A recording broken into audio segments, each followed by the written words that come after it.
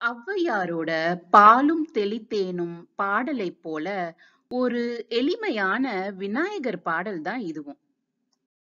திருமூலர் பத்தாம் நூற்றாண்டு போல தன்னுடைய திருமந்திரத்துல விநாயகர் வணக்கமா இந்த பாடலை எழுதியிருப்பாரு. இந்த பாடலோட பொருள இப்ப பார்க்கலாம்.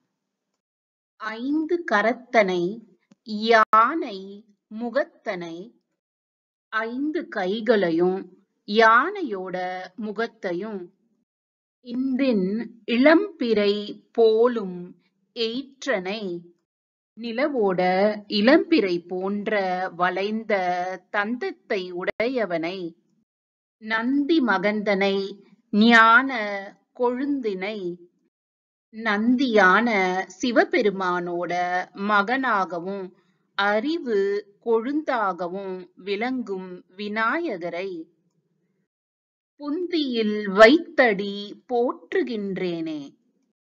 மனதில் வைத்து அவரோட பாதங்களை போற்றுகிறேன்.